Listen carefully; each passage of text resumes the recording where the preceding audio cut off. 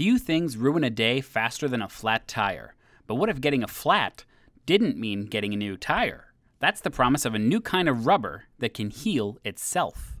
Chemists in Dresden, Germany have modified tire rubber so it can recover its elasticity without the normal steps of rubber manufacturing. They published their research in ACS Applied Materials and Interfaces. Rubber is made of long, strand like molecules tangled and bound together. A process called vulcanization has long been the standard for curing rubber to make it durable but still stretchy.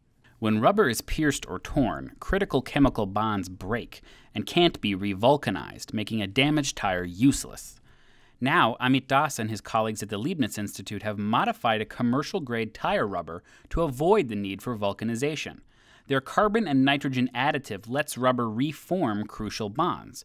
When torn, their rubber can recover the durability and elasticity that vulcanization gives. In their experiments, a cut in the rubber healed itself at room temperature, meaning a punctured tire could fix itself while your car sat in the garage.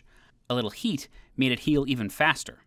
After eight days, the rubber can withstand pressures of more than 750 psi. That's about 20 times the normal amount of pressure on a tire. ACS Headline Science is produced by the American Chemical Society. For more on the latest research in ACS publications, why not subscribe to ACS?